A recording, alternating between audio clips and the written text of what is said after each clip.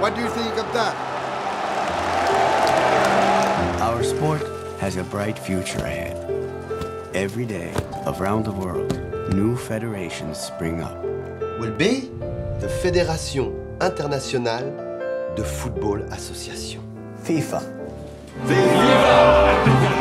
Your so-called federation doesn't even exist yet.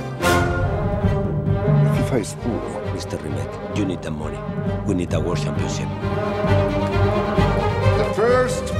The first World Cup will be held in Uruguay. Mr. Havelange is elected FIFA president. Our accounts are disastrous. Letter is apparently good at finding money. If that ball becomes a star, FIFA and Adidas will sign the biggest deal the world's ever seen. An institution like ours cannot run on good intentions alone. You have everything you need to run our family. But you know, the slightest error and you're out. I don't know where the money's gone. I mean, I have my suspicions.